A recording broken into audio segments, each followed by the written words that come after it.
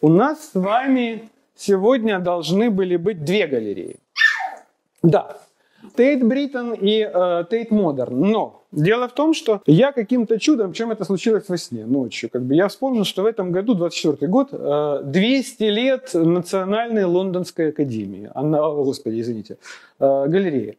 Она была основана в 1824 году, поэтому я решил, что мы все-таки по ней с вами тоже э, должны пробежать. Вообще я должен сказать, что весь этот цикл лекций этого года, он посвящен крупнейшим музейным собраниям Европы, о которых мы говорим. Для меня это как бы важно, потому что, ну, как бы я не имею сейчас возможности туда как бы вырваться хотя бы на недельку, я в заложниках у родного государства, а, а очень хочется.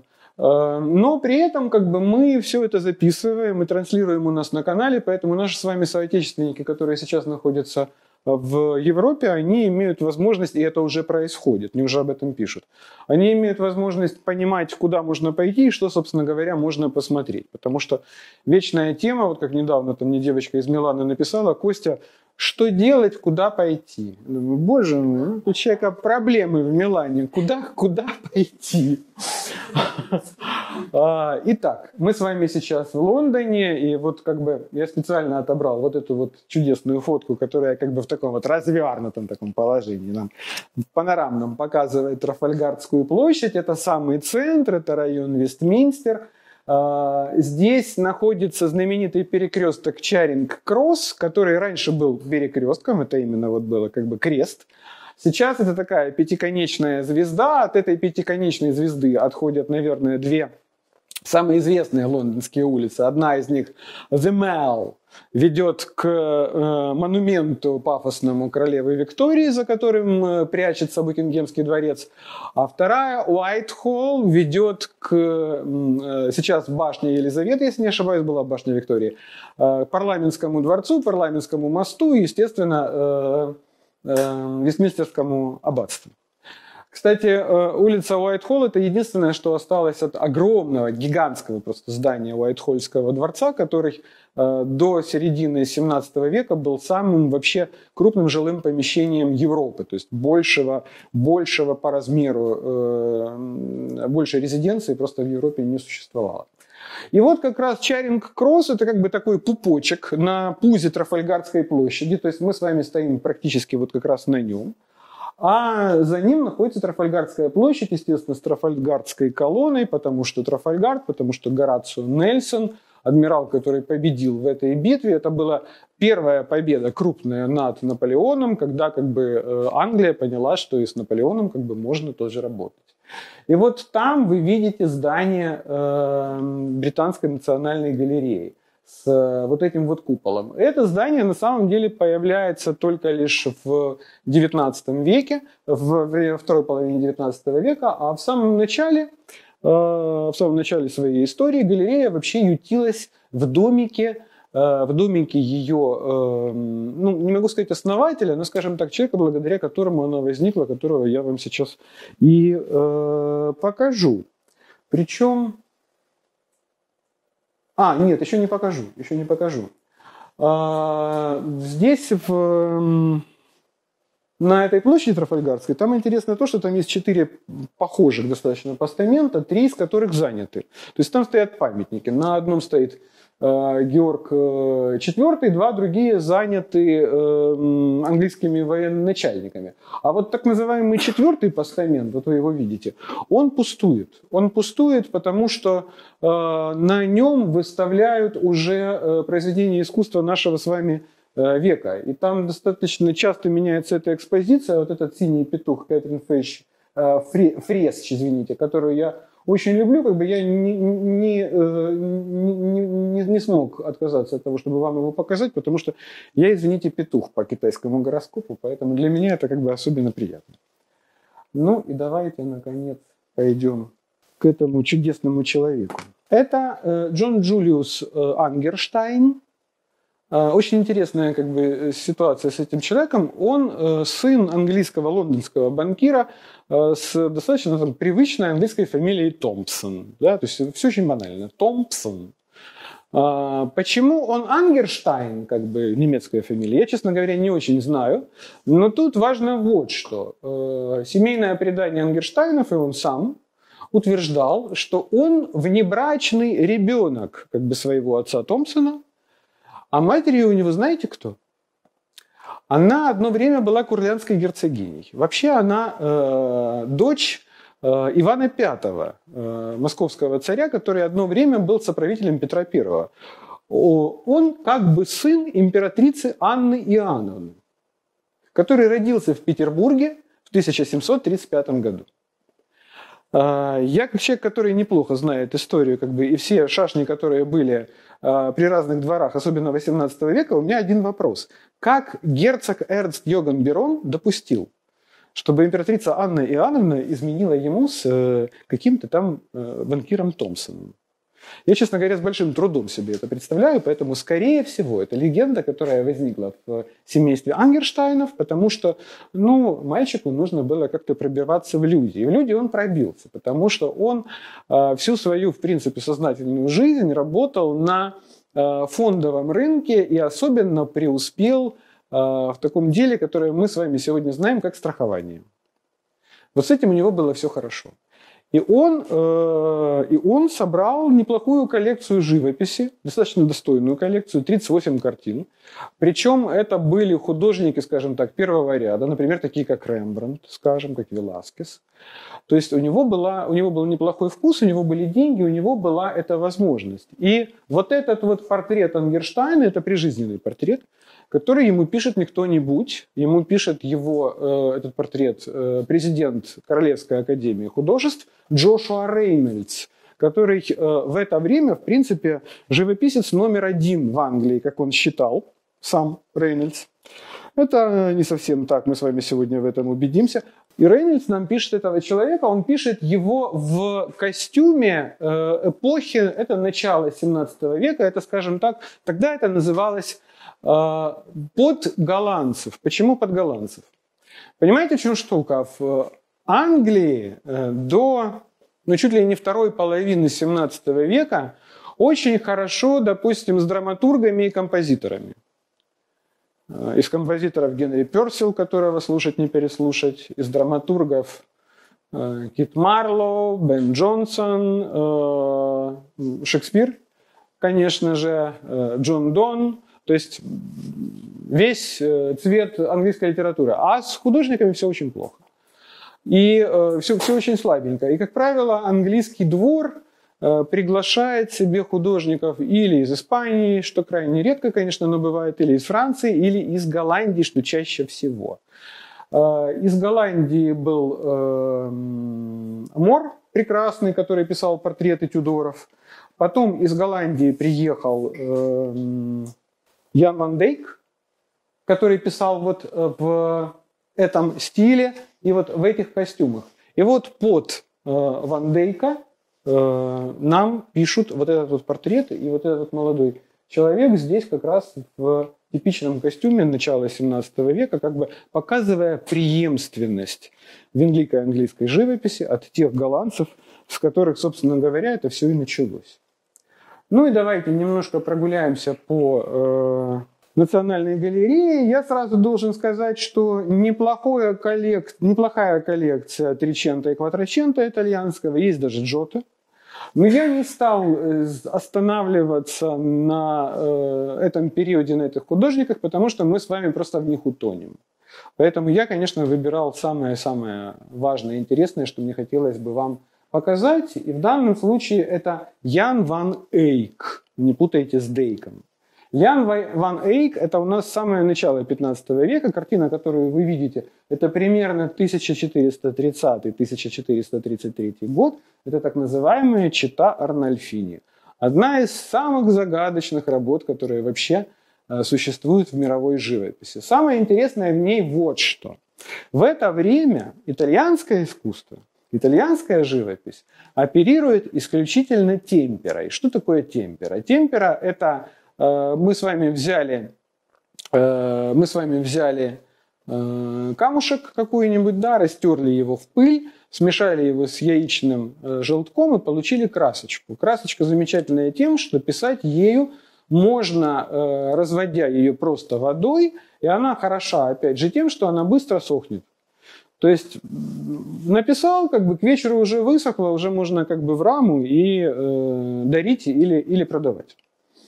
А вот э, братья Ван Эйки, у Яна Ван Эйки, Ван Эйка был старший брат э, Губерт, который умер достаточно молодым, но знаменитый Генский алтарь они якобы писали вместе.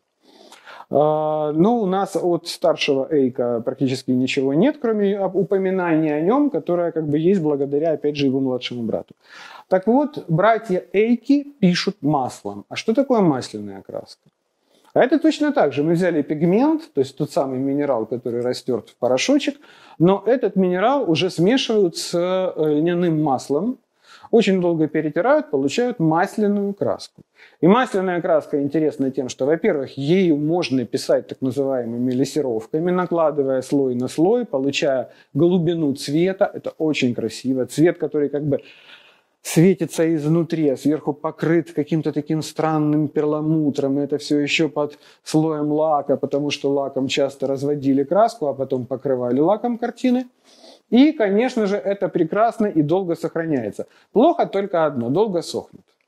Здесь надо было выдерживать технологию. Здесь нужно было нанести один слой, как бы прокрасить да, по всей картине, подождать, пока она высохнет, а подождать надо ну, чтобы вам не соврать, 2-3 недели. А потом пройтись вторым слоем, опять подождать 2-3 недели. Поэтому, собственно говоря, э, масляная живопись вот классической технологии, да, она пишется долго. Поэтому, когда нам там говорят, что Карл Павлович Брюлов там последний день Помпеи писал 10 лет, кстати, не верьте, меньше он его писал, а, то в принципе похоже на правду, потому что действительно как бы он пользовался именно вот этой техникой, и нужно было дождаться, когда все слои правильно высохнут. А, зачем это нужно? Чем, э, чем лучше мы выдерживаем технику, тем дольше картина сохраняется. Она не покрывается кракелюрами, вот, эти вот, вот этими вот э, трещинками, которые мы все с вами хорошо знаем. Поэтому, кстати, вот эта вот масляная живопись, она очень неплохо сохранилась до наших времен. Она потемнела, но потемнела она из-за лака. Ну, то такая. Итак, про что это кино? История спорит. Э, с одной стороны, э, есть версия о том, что это портрет молодоженов, с другой стороны, здесь есть версия о том, что это портрет, который написан э, уже после смерти девушки, которая здесь изображена. Она, по всей видимости, умерла достаточно молодой. Но здесь прекрасно вот что. Здесь как бы вы не увидите на этой картинке, но если, допустим, вам захочется после нашей с вами встречи э, открыть в хорошем разрешении, на нее посмотреть, она есть в гугле в хорошем разрешении, вот там зеркало. Вот в глубине, э, вот там вот за люстрой на стене висит зеркало. Э, в этом зеркале есть два отражения. Скорее всего, мужчина и женщина. И у меня есть, это уже как бы такое, мое личное открытие, скажем так. У меня есть такое подозрение, что эти мужчина и женщина – это сам э, Ян Ван Эйк и его жена. Кстати, у него были прекрасные отношения с женой. Тут редкий случай, когда художнику повезло в жизни, она его, по всей видимости, не пилила. Они были счастливы, он удачно работал. Работал он, кстати, в основном на э, Филиппа Доброго герцога Бургундского, потому что тогда это было единственное, единое как бы, государство, в котором он работал. Я думаю, что когда он закончил эту картину, он, скорее всего, пригласил свою жену и сказал, Кэтрин, иди сюда, я тебе сейчас что-то покажу. Он открыл, значит, занавеску, там стоит читар на альфине, она говорит, боже, какая красота, как здесь все чудесно, как здесь красиво, какая люстра, какое окошко, собачка. Опять же, здесь на каждый квадратный сантиметр натыканы символы, которые все что-то значат. Потому что, ну, собачка, понятно, да, символ верности. А, здесь парадная кровать. Э, э, эти парадные кровати, надо сказать, в Голландии они были в каждом уважающем себя доме, на этих кроватях не спали. И вообще в этой комнате не жили, как правило. Эта комната, эти апартаменты – это кровать, которую показывали. То есть э, пришли в гости люди, да, и вот посмотрите, какая у нас кровать, 8 перин, 15 подушек, все это под каким-нибудь обязательно знакомо нам это тоже, да, мы как бы мы тоже знаем, где такое показывают. Вот, э, это во-первых, а во-вторых, как бы, ну, жена оценила все это, да, и там зеркало, и представляете, и представляете, его жена говорит Ванейку, говорит, слушай, там в зеркале мы, а он говорит, ага, там мы. А, поэтому, конечно, это совершенно удивительная вещь. Вообще я считаю, что это такой вот гимн э, хорошей семьи. Э, это Джованни Беллини. Джованни Беллини очень люблю, потому что это целая династия. Беллини – это венецианская школа. Это мы с вами уже... Теперь мы с вами вообще в Италии, чтобы вы понимали. А, венецианская школа совершенно удивительная. Она родит, наверное, самых важных титанов XVI века, как мне кажется. То есть во всей Италии царит маньеризм, а в это время в Италии два великих монстра, два великих а, титана, который, на которых в принципе держится мировое искусство. Если бы не они, то 16 веком вообще можно было бы не заниматься. Но пока они пришли вот до этого времени, в Венеции царят Беллини. Их как бы целая династия. Во-первых, сначала папа, потом э, его дети. Вот Джованни как бы это уже младшее, э, младшее поколение дома Беллини. И он, наверное, самый великий, самый интересный, самый потрясающий, потому что а, уже люди как люди, уже ткани как ткани. Уже он владеет масляной живописью. В Италию в это время приходит масляная живопись. И так интересно, итальянцы сначала, они, а, ну, чтобы вы понимали, да, в Италии в это время все, что приезжает в Италию из Голландии, то есть все картины художников, это э, тот грандиозный, это как джинсы в 80-е годы в Советском Союзе. То есть это, это непререкаемо. То есть из Голландии это тот импорт, за которым итальянцы готовы были стоять в очередях и вообще рвать друг друга в клочья, потому что это масло. Как писали маслом было непонятно, но в результате итальянцы как-то все-таки с этим разобрались. И Беллини это уже те ребята, которые начинают работать в смешанной технике. Они немножко проходят э, темперой, вот той самой яичной красочкой, а потом еще работают маслом. Поэтому э, Леонардо да Винчи далеко не первый художник, который э, стал э, работать в масляной технике, а я вам показываю портрет Дорджа, Дожа э, Леонардо Лоредано, портреты Беллини – одна из самых прекрасных, наверное, портретных вещей, которая есть в Национальной галерее. Да, и должен вам сразу сказать, что при Лондонской Национальной галерее есть портретная галерея которую, если вы в Лондоне, если вы пошли в Национальную галерею, то, э, чтобы два раза не вставать, идите сразу и в портретную галерею. Но мы с вами сегодня туда не пойдем, потому что там исключительно английский портрет. А английское искусство у нас с вами сегодня будет в галерее Тейт. Ну и как же без него? Какая ж свадьба без баяна? Конечно же, Леонардо да Винчи. Э, музей не является как бы окончательным и бесповоротным, если в нем нет Леонардо да Винчи. В Лондонской национальной галерее Леонардо да Винчи есть но. Понимаете, в чем штука? Мадонна в гроте, вот этот сюжет, он существует в двух экземплярах. Более законченный и более совершенный, как э, считают французы, находится в Лувре. Более ранний э, и более аутентичный, как считают англичане, находится в Национальной галерее. Э, скорее всего, эта работа не дописана. Скорее всего, она не закончена. Дело в том, что Леонардо Петрович да Винчи, он отличался тем, что он брался за Э, многочисленные как бы, работы, как правило, их не завершал. Бросал в тот момент, когда для него становилось понятно, что он знает, как это закончить. Но раз знает, то уже и неинтересно. И если он там что-то и заканчивал, то это как бы единичные, единичные вещи на самом-то деле. Э, я как бы, опять же, чтобы, чтобы два раза не вставать, да, хочу сказать, что его очень часто ругают за э, его фреску «Тайная вечеря» в церкви Санта-Мария де ла Грация в монастыре, точнее, в Милане, которая как бы темнеет, которая как бы, он писал ее с нарушением э, технологий, с нарушением всех правил. Э, вы знаете, так интересно, эта церковь на самом деле, что она только не пережила. То есть, во-первых, она пережила самого Леонардо, который это все написал. Но потом она пережила своих монахов, которые в какой-то момент решили, что вот именно там, на этой стене, где эта фреска, вот именно там надо продолбить дверь, потому что очень удобно входить в трапезную. И они стали долбить там дверь. То есть, ну, как вы понимаете, стена не рада была этому событию, и штукатурка, по которой писал Леонардо, тоже. А, кроме всего прочего, военные действия, которые там происходили, когда эту церковь разваляли вообще в щент, причем, что интересно, вы знаете, осталась только эта стена с этой фреской. А, как бы это тоже ну, не, не, проходит, не проходит зря. Поэтому, конечно же, с ней э, большие проблемы. Но вот Леонардо пишет вот именно так, и э, мы здесь с вами можем видеть момент технологии, потому что если вы присмотритесь, э, вот видите как бы лица всех, вот лицо Мадонны, лицо... Кстати, ну давайте немножко про то, про, про что это кино. Э, Богородица, понятное дело, да, здесь у нас э, э Иисус, вот он, он э, сидит на руках практически у ангела, это ангел Гавриил, а вот это вот Иоанн Креститель, юный. Они потом встретятся много позже, когда Христос вернется из Индии, как вы знаете, и в реках Иордан Иоанн Креститель будет его крестить. Но э, здесь абсолютно все лица, они пока еще прописаны монохромно. Дело в том, что э, технология состояла в том, что сначала белилами художник покрывал абсолютно все те места, куда попадает свет. А потом уже он это все забивал цветом. То есть вот наслоение красочек, лессировочки, они давали вот эту вот глубину. И э, почему я говорю, что он не дописал? Потому что вот они остались такие вот именно белильные, они черно-белые практически. Вот все остальное прописал, и то, скорее всего, не он.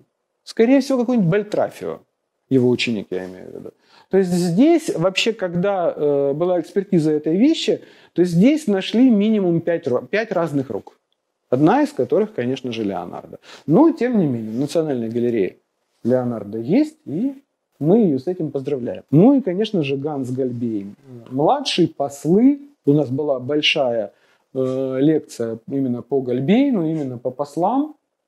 И э, на канале она есть, ее можно посмотреть. Она, конечно, совершенно прекрасна. Гальбейн – это магический гиперреализм, как я это называю. И здесь э, как бы во всем вот этом вот важно понимать вот что. Вот вы видите вот эту штучку. Это так называемый аноморфоз. Э, эта вещь должна была висеть на лестнице. На лестнице в покоях вот этого человека. И э, и, ну, как бы, сценография заключалась в чем? Мы поднимаемся э, по лестнице, доходим до э, лестничной площадки, это такой пролет. Висит вот эта вот картина. Висит два этих французских посла, которые приехали к английскому двору, к Генриху VIII, со всеми вот этими подарками. Здесь э, очень много всяких загадок, ключей, разгадок. Это все такая очень сложная эпоха, когда Генрих VIII разводится со своей женой Катариной Арагонской, потому что он хочет жениться на Анне Болейн, которую он потом казнит. А, но э, французские послы, они этому содействуют, их все это вполне устраивает, в принципе, потому что, опять же, контры с Испанией, потому что геополитика и так далее. А, дальше. Человек поворачивает и идет по лестнице дальше. Но он что-то такое на этой картине видел. И ему хочется обернуться, посмотреть, что же он там увидел. А он в это время находится примерно вот здесь. И вот как раз отсюда он понимает, что это череп. Что такое череп? Момента мори, да? Помни о смерти. Это вот такая вот шутка, зашифрованная в этой картине великим, великим Гальбейном. Вещь потрясающая, необыкновенная. Конечно, надо смотреть в оригинале. А это Рафаэль, потому что, ну, опять же, да, как бы э, эпоха высокого возрождения – это четыре художника, которые вошли в историю искусства просто под своими именами, как монархи. Леонардо, Рафаэль, Микеланджело, Тициан. Э, Рафаэля и Тициана мы с вами сегодня увидим. Вот Рафаэль. Э, Рафаэль один из них, причем очень интересный парень, я считаю, до конца не разгаданный, как бы им еще заниматься и заниматься, потому что, когда мы смотрим ретроспективно на его творчество, начинал он вообще с работ, за которые хочется просто взять и отбить руки. То есть не рисовать не может, не писать не может, ничего не может. Потом в его жизни появляется Микеланджело, у которого он очень много чего подсматривает, очень много чего э, срисовывает. У меня, кстати, по этому поводу Рафаэля уже начались контры там, с некоторыми итальянскими коллегами, которые мне уже начинают писать, что все вы врете про нашего Рафаэля. Все не так. Ну, возможно. Но на самом деле я понимаю, что только лишь когда перед его глазами появляются работы э, Микеланджело, перед глазами Рафаэля, Рафаэль резко меняется. Ну, и это уже такой зрелый Рафаэль, который нам с вами пишет папу э, Юлия II, который э, в конце своей жизни уже, в конце своего понтификата уже огорчен всеми этими проблемами, с, которым, с которыми столкнулась папская область. И он первый папа, который отращивает бороду. И говорит о том, что я ее сбрею только тогда, когда эти проблемы разрешатся. Ну, проблемы разрешились значительно позже, а он так и умер со своей бородой. Но, тем не менее, это первый вот такой вот сидячий портрет папы. И этот портрет, этот канон изобретает нам с вами Рафаэль Санти. А вот он Тициан. Это история Дианы и Актеона.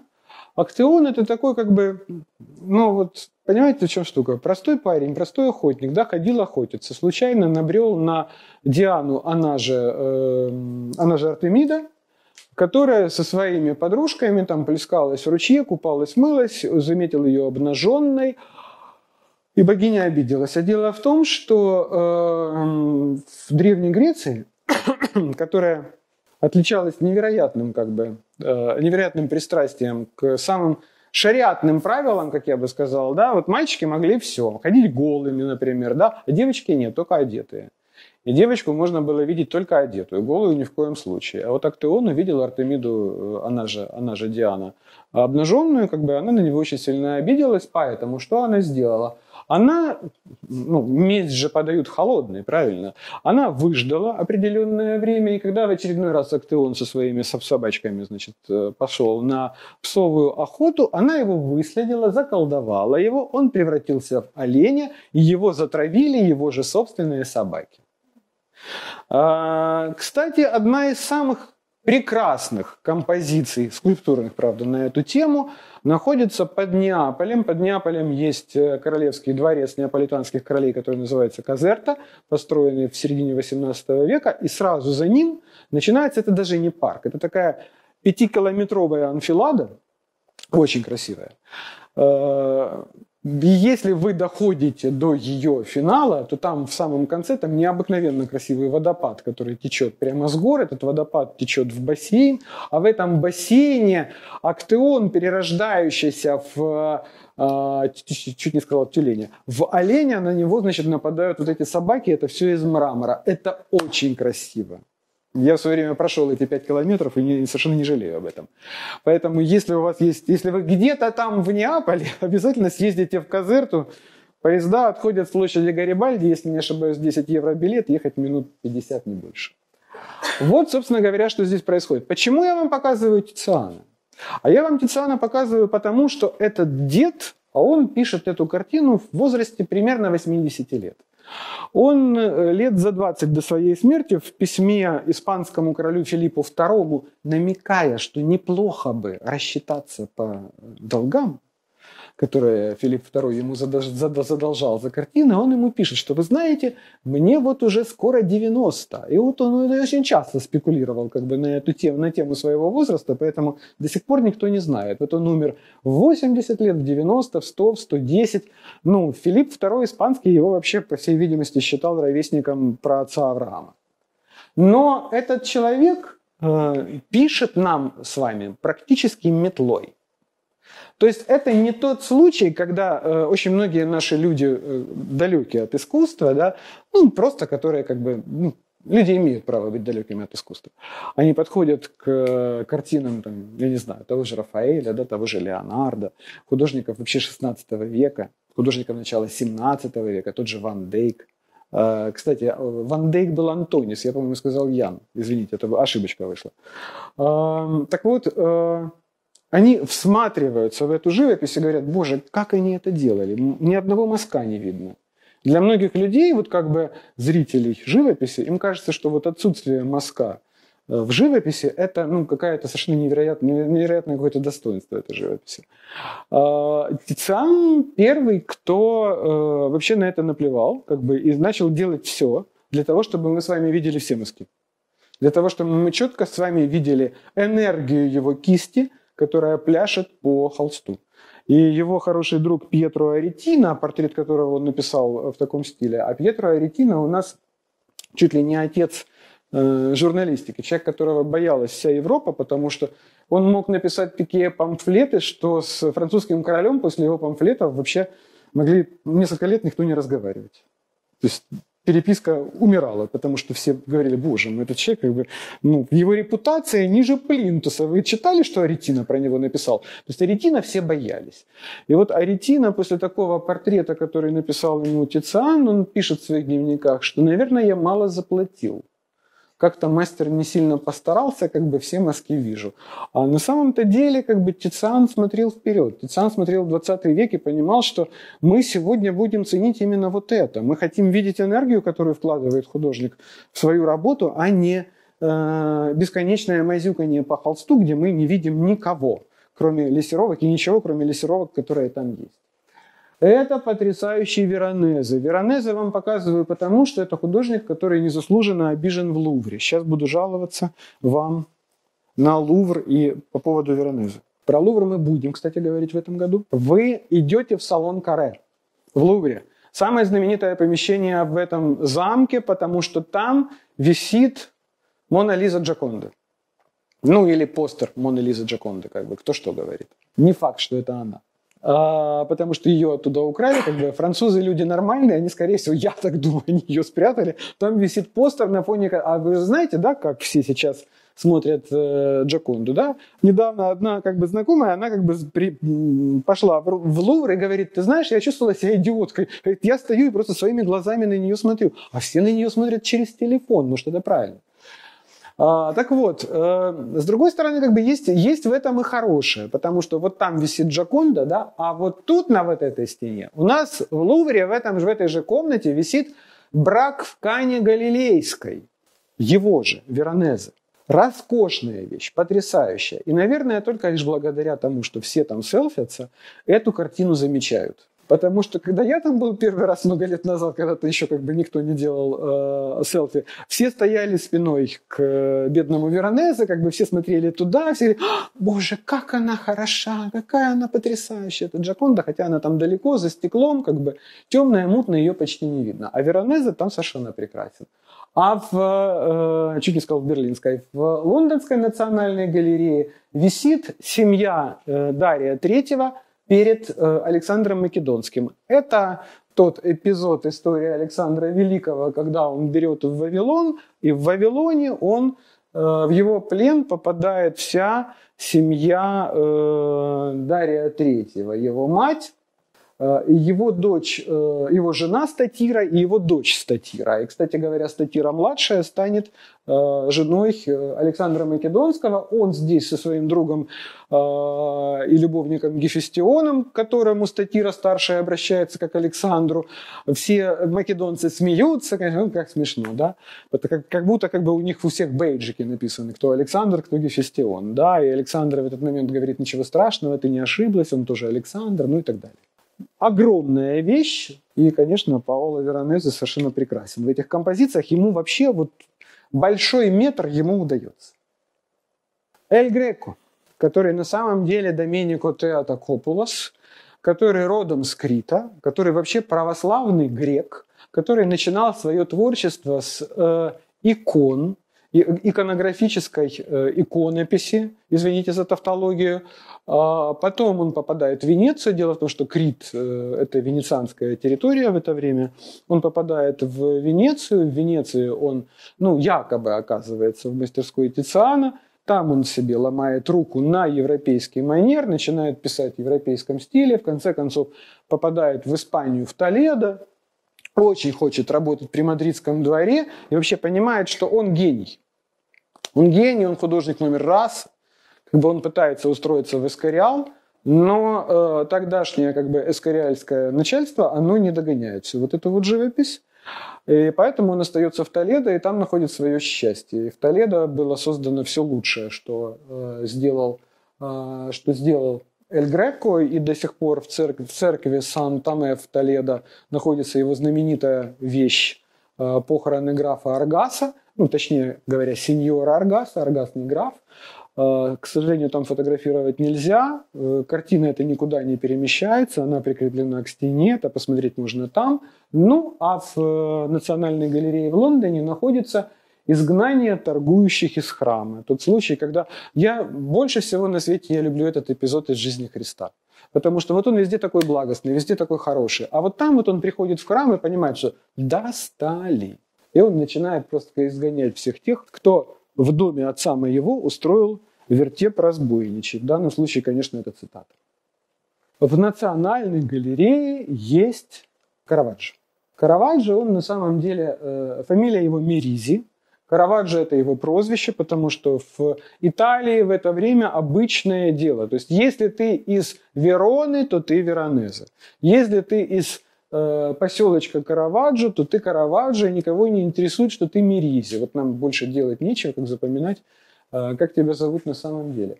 Караваджо здесь совсем молоденький. Караваджо все знают, все любят.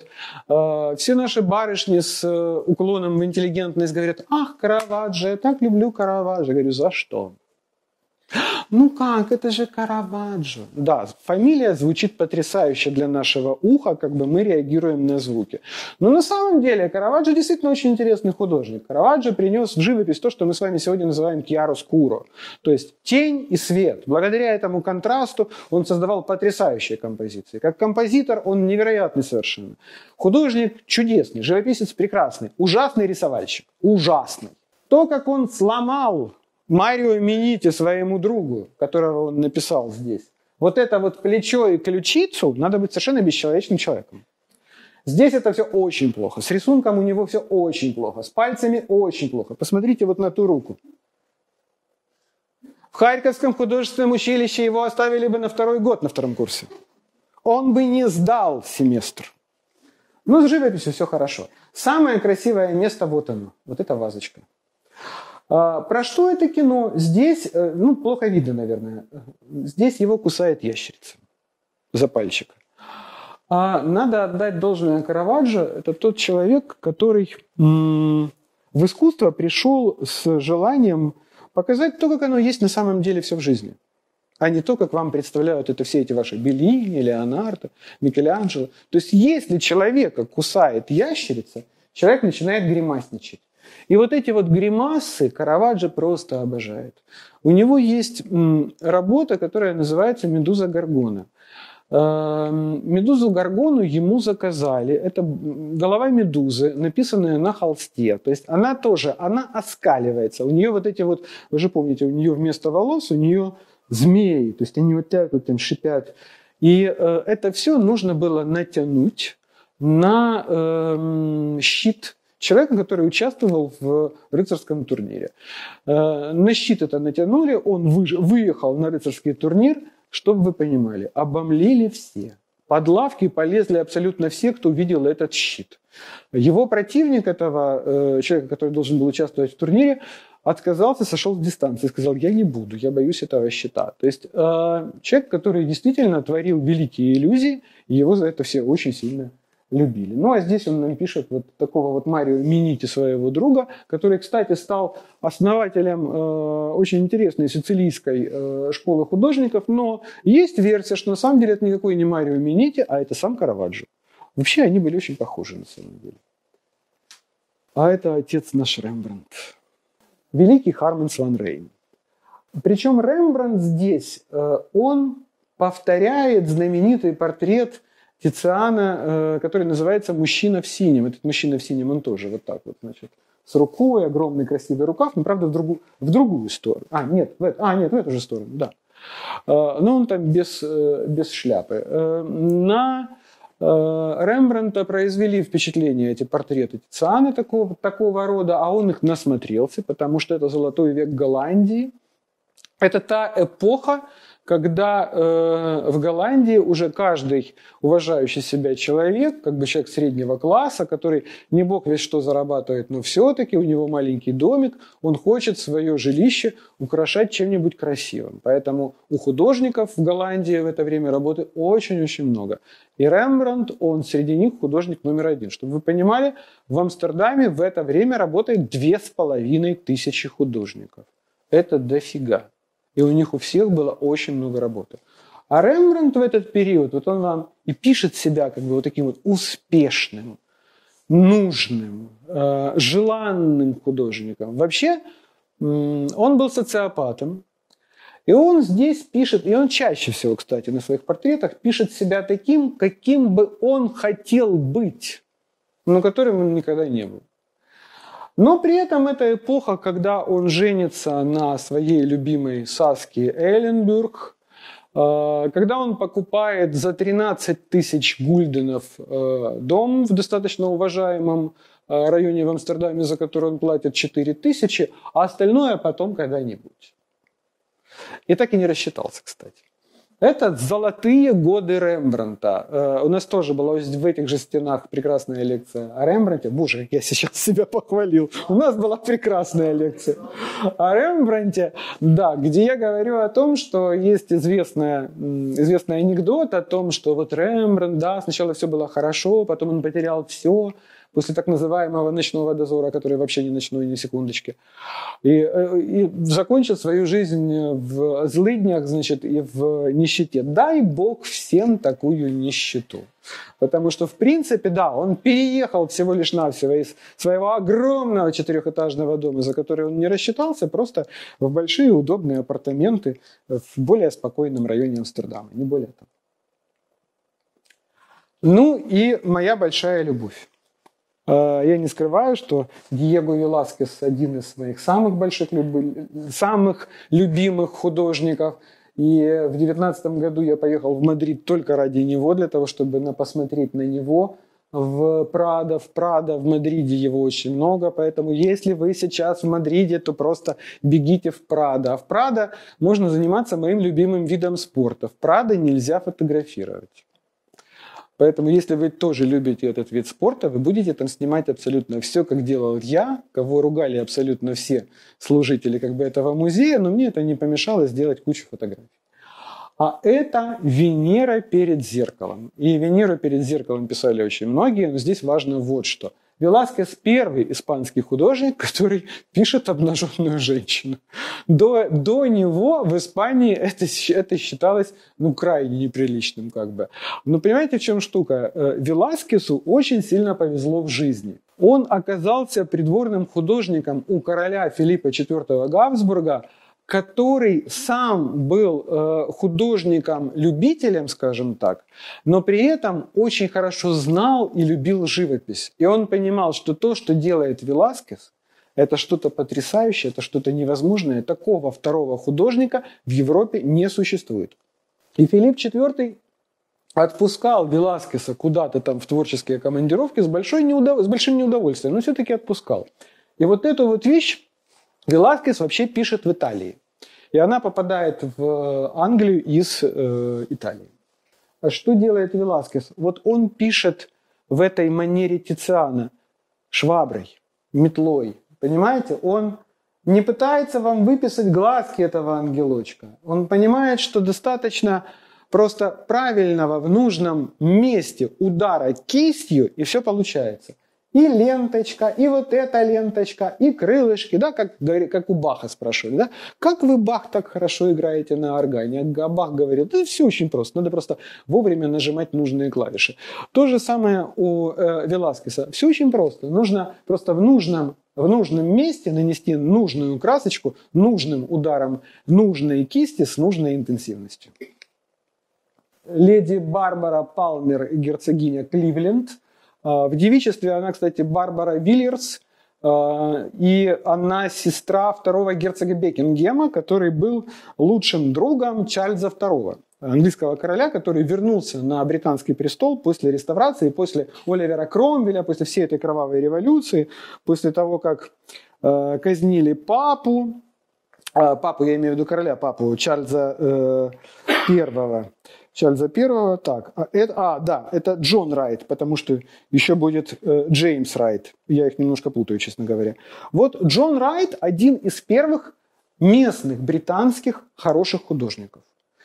Э, почему, собственно, он ее пишет? Она официальная фаворитка Чарльза II.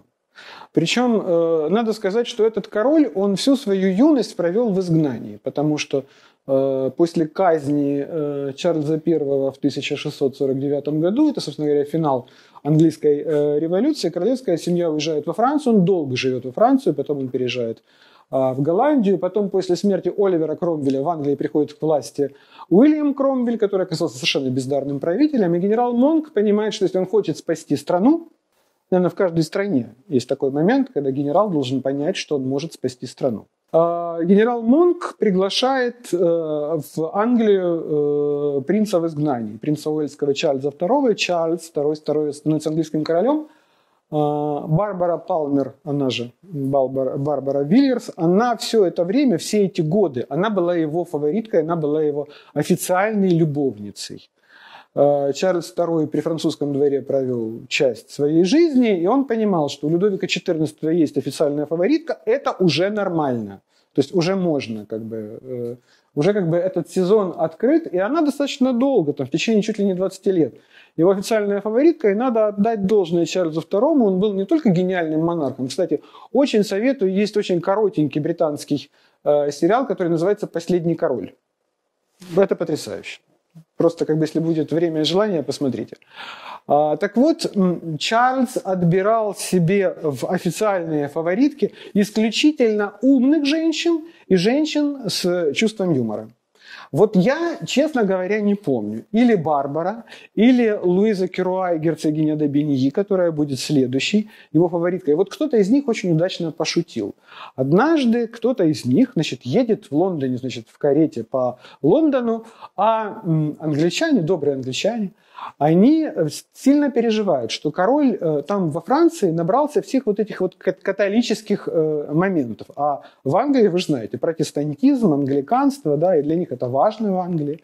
И важно, чтобы король был протестантом. И они переживают, как бы не Уж не католичка ли Барбара или вот та вот Луиза Керуа, о, котором о которой я говорю, вот это кто-то из них, неважно. Так вот, они останавливают карету королевской э, фаворитки э, криками, причем отправляют, причем мужики хитрые, да, они, они женщин своих отправляют, они не сами, они отправляют лондонских торговок, которые окружают карету фаворитки и кричат «Католическая шлюха!» Карета останавливается, фаворитка короля выглядывает из окна и говорит «Успокойтесь, добрые женщины, я не католическая, я такая же, как вы, протестантская шлюха». Ну, прекрасный портрет, согласитесь тоже э, английский художник, местный, местный художник, это уже 18 век. И что же здесь происходит? В 18 веке все совершенно очарованы всякими научно, научными, естествоиспытательскими опытами. Здесь э, происходит вот такой вот опыт. Вот здесь, там вот колба, вот вы ее видите, да, вот тут. Там птичка, эту колбу закрывают, откачивают, вот такая специальная э, система, откачивают оттуда воздух.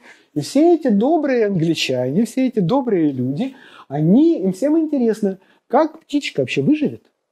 Как оно там вообще в вакууме-то? Причем, что интересно, посмотрите, что творит Райт. Здесь есть люди, которым ну, реально интересно, которым реально любопытно, а есть вот э, девочка с мамой, которые переживают за этой птичку. То есть, понимаете, вот такое ощущение, что именно вот эту вещь однажды увидел Булгаков. И потом, когда он описывал Воланда, который сидит на сцене театра Варьете и смотрит на публику, вот он, помните вот эти слова, которые он говорит, что люди как люди, иногда и доброта стучится в их сердца. Такое ощущение, что Булгаков, по всей видимости, видел эту вещь и вспоминал вот эту вот парочку, которая здесь, и в чьи, в чьи сердца постучала доброта, которым этот опыт не интересен. Отпустите, сволочи, птичку. Но такое в искусстве тоже было. Ну, а это потрясающий Томас Гейнсборо. Гейнсборо больше, конечно же, в галерее Тейт, до которой мы с вами скоро дойдем. Но здесь, в Национальной галерее, висит этот портрет мисс Сары Сиденс. Сара Сиденс у нас звезда английской сцены. Дело в том, что Чарльз II, которого мы с вами недавно вспоминали, да, и говоря о э, его протестантской шлюхе, э, он позволил женщинам играть в театре. То есть до второй половины 17 века все э, мужские, все женские роли, извините, в театре исполняли мужчины.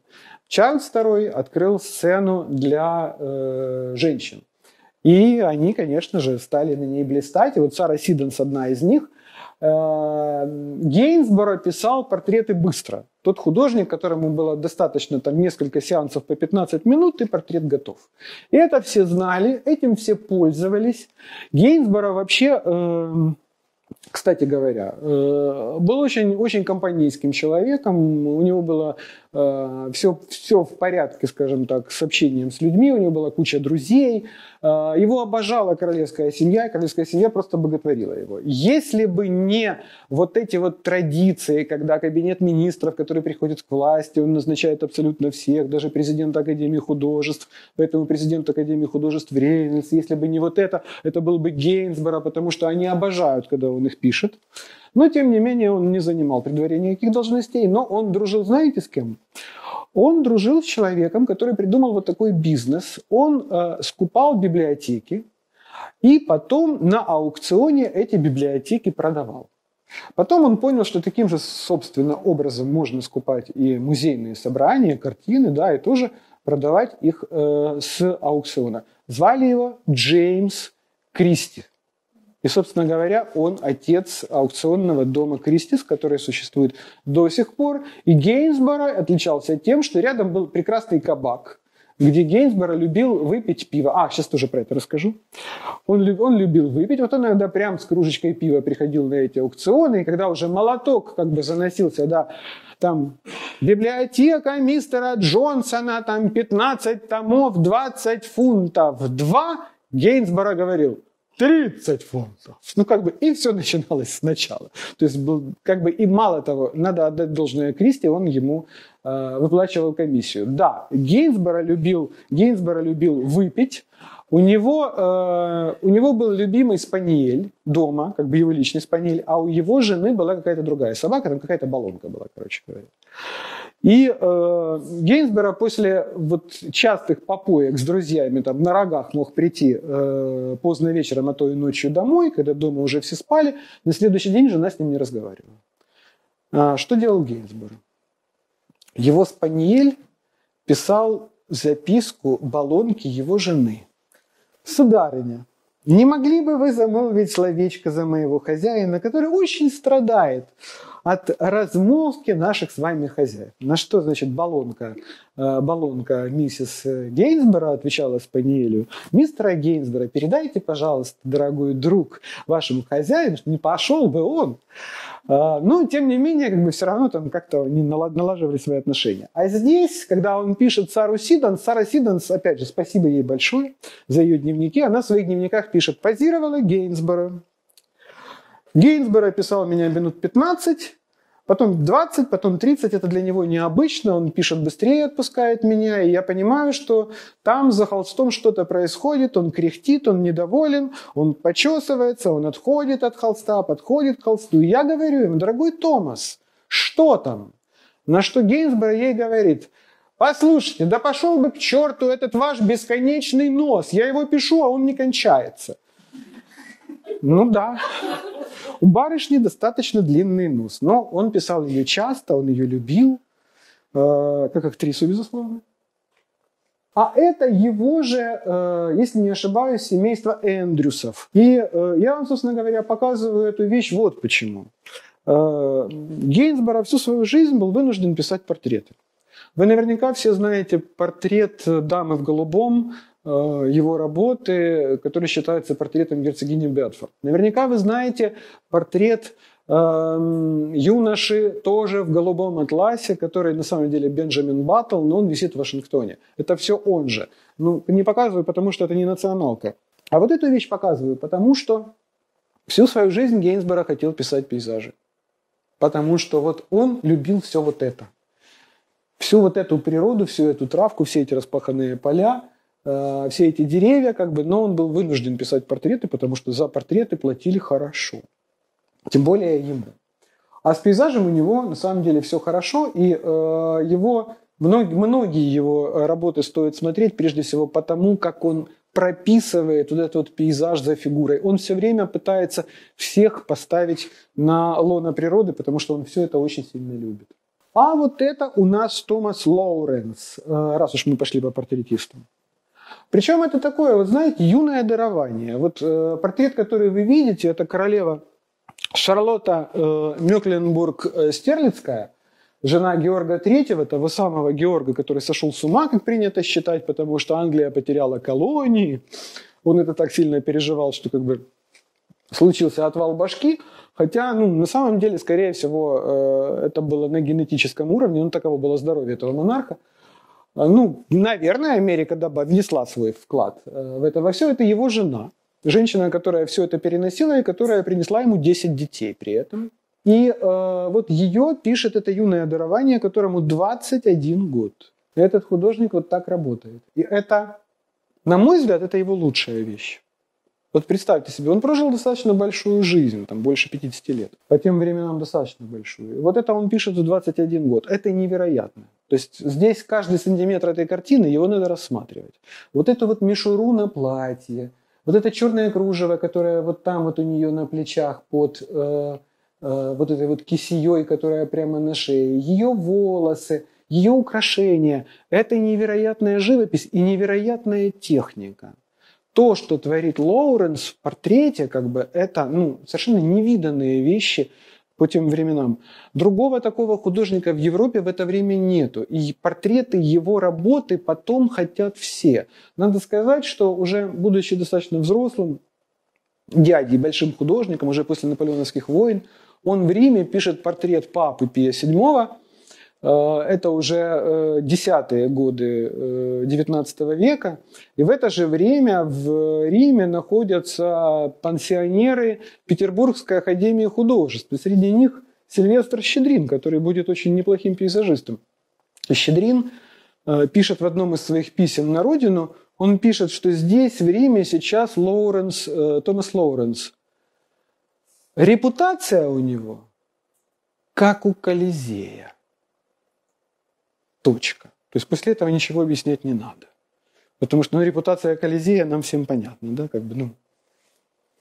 Что такое Колизей? Да, с латыни колоссальный. То есть вот такой же колоссальный был Томас Лоуренс. Что случилось с этим портретом? Когда он его закончил, королева Шарлотта сказала, а вот мне не нравится, потому что я здесь какая-то старая, какая-то дутловатая, какая-то совершенно непонятная, и еще как бы мне не нравится мне не нравится сценография, потому что там за окном, там осень. На что намекает художник? Что я уже не молода, что я вступила уже вот в тот возраст, когда осень, спасибо, что не зима. Мало того, она в это время находится в тяжбе со своим собственным сыном, э, принцем Уэльским, будущим Георгом IV, за регенство над собственным мужем и э, отцом э, Георга IV, потому что король периодически впадает в маразм, поэтому королева решила э, стать регеншей. Но у нее ничего не получилось, все равно регентом стал принц, но при этом как бы, она все равно настаивала на том, что кто главный как бы в доме. А тут Лоуренс пишет ее вот такой. И вы знаете, у меня есть такое ощущение, что она его сломала. Я имею в виду Лоуренса, потому что вот после этого портрета он начинает писать совершенно блестящие вещи, как вот это. Это один из э, поздних стюартов, э, причем он э, близкий друг, близкий друг Георга, Георга IV, вот того самого принца-регента, потом, который потом станет британским королем после своего отца. И благодаря именно этому персонажу как бы Томас Лоуренс был представлен Георгу IV. Портрет блестящий, портрет прекрасный, чудесная живопись. Эм, чудесный молодой человек, все хорошо, все хорошо, а что-то не хватает. Не хватает души, не хватает жизни, не хватает живописи, не хватает, ну, не хватает этого. Это все было в портрете королевы. Но королева Лоуренса сломала. И Лоуренс после этого делает просто блистательные вещи, как вот этот портрет. А, кстати, Георгу IV надо сегодня нам всем сказать спасибо, потому что именно в его царствовании была открыта национальная галерея, которую мы с вами сегодня все смотрим. А это Джон Констебл. Это художник, который, как и э, британский художник, который, как и Гинзборо, обожал пейзажи и сосредоточился на пейзажах. Несмотря на то, что в начале его карьеры за пейзажи платили как бы не особенно, а потом стали платить хорошо. И это одна из самых известных его вещей. Это э, собор в Солсбери, он называется собор, Солсберийский собор слугов после дождя. Радуга нам с вами говорит о том, что таки действительно после дождя. И э, пейзажная живопись Констебла, она оказала неизгладимое впечатление и влияние на всю пейзажную живопись XIX века, а особенно на французских барбизонцев и французских импрессионистов. Как же без них, родимых? Клод Мане вот когда э, включаешь кого-то из, из импрессионистов, хочется вдохнуть. Потому что импрессионисты – это про воздух. Клод Мане – это про воздух. Один из э, тех удивительных, потрясающих художников, которые, которым было вообще наплевать, кто что подумает и скажет о том, что он делает, что он пишет, как он это себе представляет. Для него живопись имела самое большое значение в жизни, все остальное не важно. Даже когда э, была первая выставка импрессионистов, которая проходила в э, Париже, начиная с 15 апреля 1874 года на бульваре Капуцинок 35, а, то там как бы всю эту э, выставку готовили, в принципе, два человека. Камиль Писаро, тоже импрессионист, которому, кстати, было не наплевать на реноме, который очень серьезно к этому относился. И брат э, Агюста Ренуара, э, который вообще занимался тем, что развешивал картины, как бы у всех художников спрашивал, что как называется, скажите, пожалуйста, я должен просто красиво подписать. Все давали какие-то более-менее нетривиальные названия. И только у Клода Мане. Рассвет в деревне, закат в деревне, Выход из деревни, вход в деревню. Руанский собор утром, Руанский собор днем, Руанский собор... То есть в конце концов, значит, у Эдмона Ренуара, значит, съезжают, он съезжает с катушек и говорит, ну дай мне какое-нибудь нормальное, интересное название для твоего рассвета в Гавре, потому что это рассвет в Гавре, закат в Гавре. Клодман говорит, ну напиши впечатление, расцвет в Гавре. Ну, взяли и написали. А на выставку пришел а, Луи Леруа, эм, корреспондент журнала «Ле Шеревари», который э, после этой выставки как бы написал э, в своем журнале «Фильетон», в котором было написано, как, в котором описывалось, как два, двое друзей пришли на выставку импрессионистов – начали ее рассматривать, один из них снимает, снимает очки, начинает протирать. Другой говорит, что ты делаешь? Говорит, а у меня же очки грязью заляпаны. Говорит, нет, это не очки грязью заляпаны. Это писароном тут написал распаханное поле. Это там на картине грязь. А это что здесь у нас? А это у нас здесь впечатление от рассвета в Гавре. Ну, давай посмотрим, как он нас тут впечатлил. Ох, и впечатлил же он нас. И, собственно говоря, все зацепились за вот это слово «впечатление». А ведь импрессионисты-то, они перед этим создали свое общество, и как они его назвали? Они же ему дали серьезное название. Они ему дали название «Свободное общество живописцев, скульпторов, граверов, там и чего-то там, свободных алкоголиков, короче говоря». То есть все очень было серьезно. И тут вдруг после этой выставки их называют впечатляльщиками, импрессионистами. Все расстроились, все обиделись, кроме Клода Моне. Ну, импрессионисты так импрессионисты. Ну и Ренуар. В Национальной галерее есть Ренуар. Я вам честно признаюсь, я Ренуара не очень люблю. Сколько я в своей жизни видел Ренуара, там буквально единицы его работ мне нравятся, такие как портрет Жанны Самари, например, который висит сейчас в Эрмитаже. Я считаю, что это идеальное оформление для коробки дорогого шоколада. Но, опять же, это проблема не Ренуара, это проблема моя. Я когда-нибудь рано или поздно вгляжусь и рассмотрю э, живопись Ренуара. Здесь у нас зонтик, и здесь у нас дождь. Здесь вы видите, что вот этот вот молодой человек пытается познакомиться с вот этой вот девушкой, вокруг как бы, ну, куча людей. Когда эта вещь попадает в Англию, она в Англию попадает в 1900 то ли 12 то ли 19 году. То есть Ренуар уже совсем такой, знаете, пожилой, пожилой дедушка. Причем так интересно, с импрессионистами случилось ровно то, о чем а, говорил Черчилль, да, который написал, что если в юности ты не бунтарь, ты подлец, если в зрелые годы ты не консерватор, ты идиот. Вот э, Ренуар сделал вот ровно, как написал Черчилль. Он э, в молодости был бунтарем, импрессионистом, вот со всеми вытекающими. А потом, когда к импрессионистам пригляделись, когда как бы им на, их уже стали покупать, когда кто-нибудь из клиентов говорил, что, ну, вы знаете, можно все-таки чуть-чуть как бы сгладить. Это, конечно, сгладим, говорил Ренуар, и начинал гладить. Короче говоря, парень к концу жизни был дважды кавалером э, Ордена Почетного Легиона. То есть он стал таким хорошим французским буржуа. И вот когда в Лондоне оказывается эта вещь, этой картине устраивают овацию. Потому что ну, импрессионисты это уже, это уже бренд, понимаете, это уже, это уже Луи Виттон.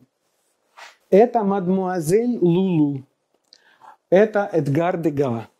Это тоже один из тех самых импрессионистов, которые принимали участие, в, который принимал участие в этом движении, был участником практически всех импрессионистических выставок. Кстати говоря, э, среди импрессионистов э, были не только мужчины, среди них э, были женщины, одна из них Берта Маризо, которая тоже есть лекция на нашем канале, а здесь мадам Лулу под куполом цирка Меркурий в Париже. Для Дега балерины, для Дега э, артисты цирка и лошади – это самые любимые темы творчества. Ну и так, прям скажем, дядю Ваню никто так никогда не ставил. Э, в таком ракурсе, вот на трапециях под куполом цирка, да еще женщина, да еще с это для нас с вами сейчас в этом нет ничего особенного. Ну, как бы и шорты, и шорты. Ну, Господи, что боже мой. А в конце 19 века вы понимаете, что это? Это порнография. Это, это нет, это не порнография, это на грани. Но именно вот это вот на грани делает э, искусство искусством.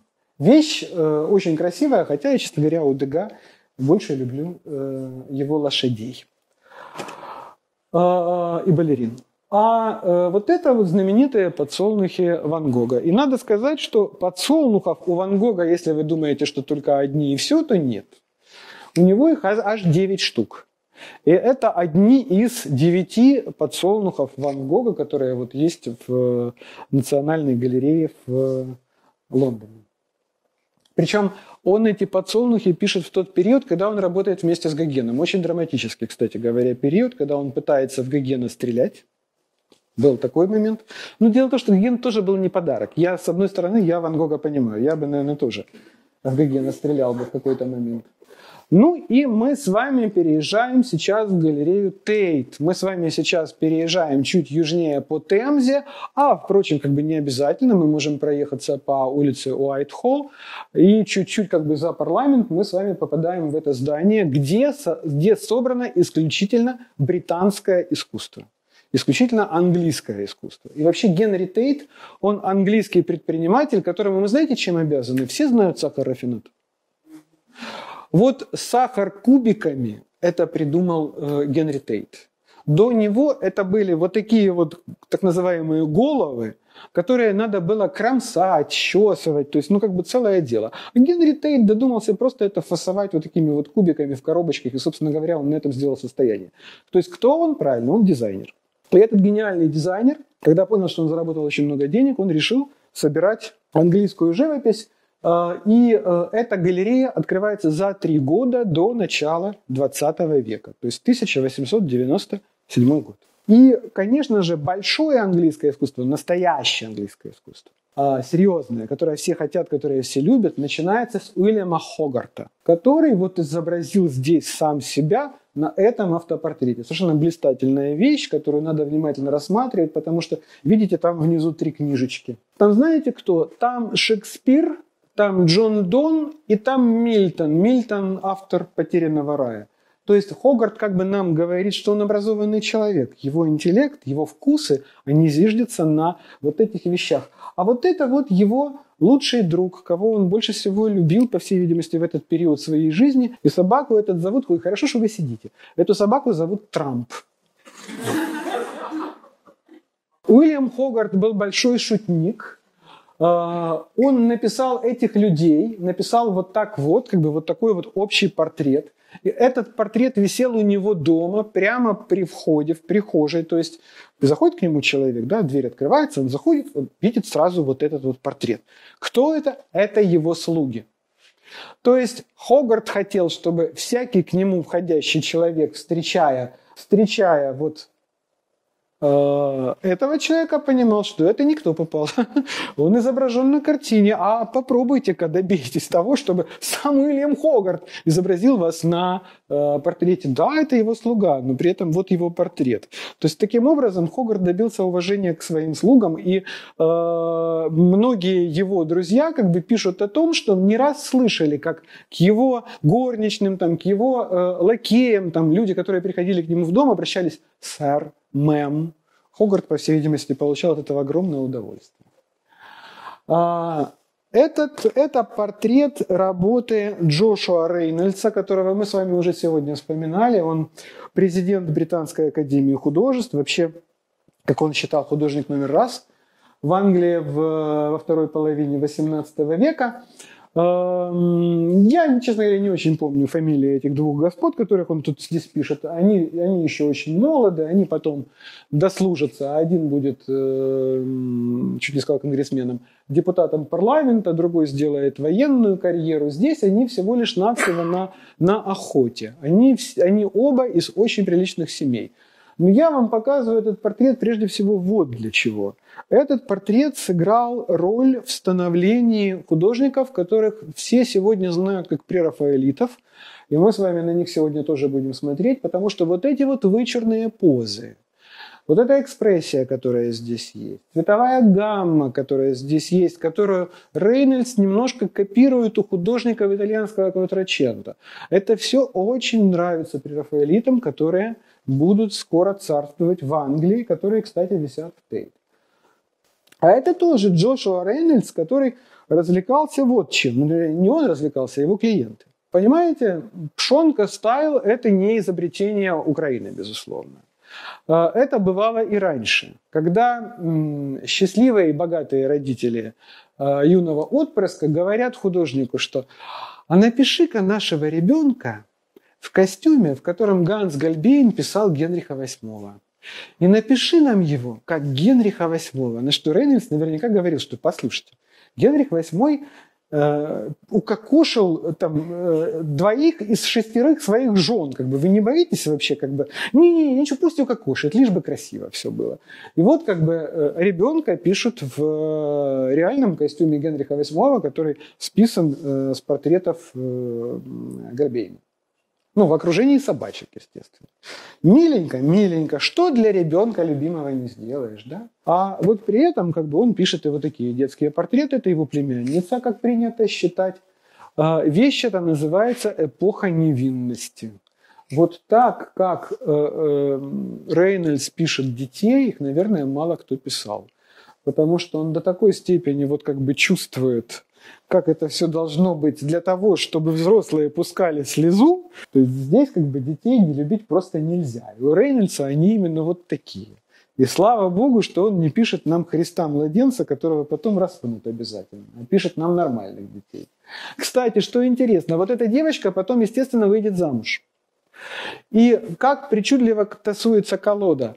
И э, ныне покойная принцесса Диана, принцесса Уэльская – и нынешняя английская королева Камила, вторая жена принца Чарльза, они оба ее потомки. Обе ее потомки. А это дети э, Томаса Гейнсбора, который нам с вами писал э, миссис Сару Сидонс, которую мы видели в Национальной галерее, у которой тоже были две дочери, в которых он души не чаял, он их достаточно часто писал, любил их до такой степени, что в результате от э, отцовской любви не дал им в конце концов по-человечески выйти замуж. Поэтому одной неудачный брак, а вторая осталась просто сиделкой при папе, потому что папа был эгоистом. Это Генри Фюзли, который на самом деле художник англо-швейцарского э, происхождения. И он такой очень своеобразный художник. Вы понимаете, начало XIX века Но английские художники творят удивительные вещи. Э, будучи не бог весь какими мастерами в живописи, они вдруг начинают прокладывать дорогу символизму, который вообще пришел в искусство в, и в живопись в самом конце XIX века. И в это время для э, художников впечатлением как бы и главным вдохновением являются во многом э, пьесы Шекспира. А у Фюзли, ко всему прочему, еще и э, эпосы германских э, народов. Э, я в данном случае имею в виду, безусловно, Тристана и Изольду, я имею в виду песни о Нибелунгах, и вообще вот вся вот эта вот медиавистика, все эти романы Кретьена де Труа, Вольфрам фон Эшенбах, вот он все, на, на все вот эти вот как бы сюжеты, он пытается рисовать. Фюсли очень хорош в анатомии. Он большой любитель прорисовать максимально точно женское тело, мужское тело. Вообще он, он очень, наверное, был бы интересен как иллюстратор, но он пишет при этом достаточно большие работы. В это же время работает Уильям Блейк который, ну, это знаете такой, это английский Леонардо, который и инженер, и философ, и поэт, и гравер, и художник, и архитектор, все. Уильям Блейк – это удивительная как бы, фигура в, английской, в английском искусстве. Я, честно говоря, уже года три как э, собираю там всякие разные материалы, хочу сделать о нем лекцию, но пока еще к этому не готов. Это мистик. Это мистик, это визионер, это человек, который начитался Эммануэля Сведенборга и был как бы абсолютно этим всем наполнен, который боготворил Данте, его божественную комедию. И здесь он нам э, э гравирует, это гравюра, э, здесь он нам с вами показывает Ньютона, как себе представляет Ньютона Уильям Блейк. Здесь э, это не имеет никакого отношения к реальному сыру Исааку Ньютону, это скорее Ньютон как архетип. Это скорее Ньютон как образ абсолютного и законченного ученого и материалиста. И вот смотрите, свиток, на котором этот Ньютон вот там чертит вот этим циркулем, да, он как бы стекает из его головы. При этом своей голой заднице он сидит на природе которую, казалось бы, возьмишь, да поизучай, потому что в ней все, вот поковыряйся в ней, ты все найдешь. Нет, он там что-то себе чертит на вот том вот свитке. То есть Блейк это очень интересно. Поэтому, если будет время и желание, просто возьмите и в гугле наберите Уильям Блейк и посмотрите, вы будете очарованы. Он знаете, кого напоминает? Он очень напоминает, чуть было не сказал нашего, а, Чурлёдиса. Что-то вот у них э, общее есть. А это удивительный Уильям Тернер. Когда ты в какой-то момент вдруг э, понимаешь, что у импрессионистов был реальный предтеча, причем в Англии, причем за ну, много лет до них, который вот пытался передать все вот это, как бы и воздух, и состояние, и влажность, и погоду. А, это замок утром. Замок, по всей видимости, вот там вот, где-то, да, в тумане. Тут пасутся какие-то коровки на лугу. И совершенно необыкновенная его работа, которая, если не ошибаюсь, называется «Пар, воздух, вода, дождь и скорость». То есть здесь, здесь мост Ватерлоу, по мосту идет, э, едет поезд, идет дождь, поезд выпускает пар, как бы в, э, влага стоит в воздухе, вот это интересует Тернера. Середина 19, даже нет, не середина, это первая половина 19 века. Тернера интересует состояние погоды. Понимаете, что он делает? Он не пытается дать публике красивое, а это еще та эпоха, когда публика, которая смотрит на живопись, она воспринимает живопись как десерт, как наслаждение, как э, то, чем можно порадовать глаз – а Тернер вообще этим не заморачивается. У него перед ним стоит совершенно формальная задача, которую он хочет решить сам для себя как художник. И его вообще совершенно не интересует, что вы об этом думаете. Может быть, именно за это его очень любил Уистлер. А это у нас начинаются прерафаэлиты. Про что это кино? Все же помним да, этого великого теоретика, который сказал «быть или не быть». Вот в чем вопрос. Достойно ли нам смиряться под ударами судьбы? Или надо оказать сопротивление в смертной схватке с целой, э, целым морем бед покончить с ними? Умереть, забыться. И знать, что этим обрываешь цепь сердечных мук и тысячи лишений, присущих телу. Это ли не цель желанная, говорит принц Гамлет, и потом рассуждает о том, что э, зачем как бы тяготиться этой юдолью жизненной, да, этими вечными испытаниями, этой сансарой, извините меня за буддизм, да, когда так просто как бы кинжал решает все вопросы. Но потом он сам приходит к выводу о том, что э, неизвестность за той чертой, она же ведь пугает больше, чем известность, которую, э, понимание того, что происходит здесь. Поэтому так всех нас в трусов превращает мысли и вянет, как цветок, решимость наша. И э, в конце он говорит, «Офелия, о радость, помяни грехи мои в своих молитвах, нимфа». А Офелия у нас практик. Офелия, когда любимый человек убивает отца ее – она, как нормальная дочь, с горя сходит с ума и принимает решение покончить жизнью. Наверное, не зная о тех рассуждениях про самоубийство, которые до этого изрекал ее возлюбленный. Что она делает? Она ложится в ручей, в ручей ее несет как бы по воде, она поет гимны, э, тело все больше погружается в воду, Офелия погибает. Смерть Офелии нам пишет Джон Эверетт Милле один из трех первых великих прерафаэлитов. Прерафаэлиты вообще, вы знаете, это такая, это особенная тема. Их было несколько креаций.